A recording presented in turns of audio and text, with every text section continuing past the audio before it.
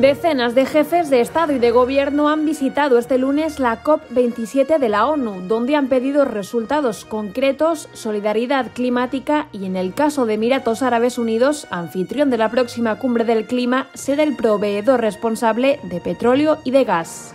El presidente de Egipto, Abdel Fattah al-Sisi, ha instado a los estados representados en la conferencia a que entreguen resultados claros y concretos por el bien de todos, ya que negocien con conciencia y flexibilidad ante la urgencia climática.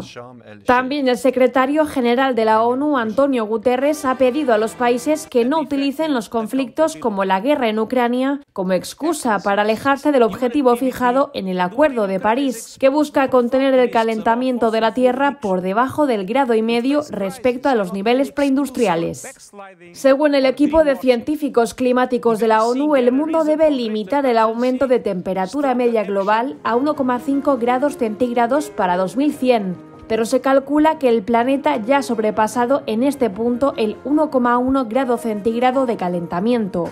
Guterres también ha pedido grabar los beneficios extraordinarios de las empresas de energías fósiles y reorientar ese dinero hacia quienes sufren el alza en los precios de la comida y la energía. Por su parte, el presidente del gobierno español, Pedro Sánchez, ha anunciado que España aportará 20 millones adicionales al Fondo de Adaptación y que impulsará con 5 millones de euros la puesta en marcha de la Alianza Internacional para la Resiliencia a la Sequía, promovida conjuntamente con Senegal.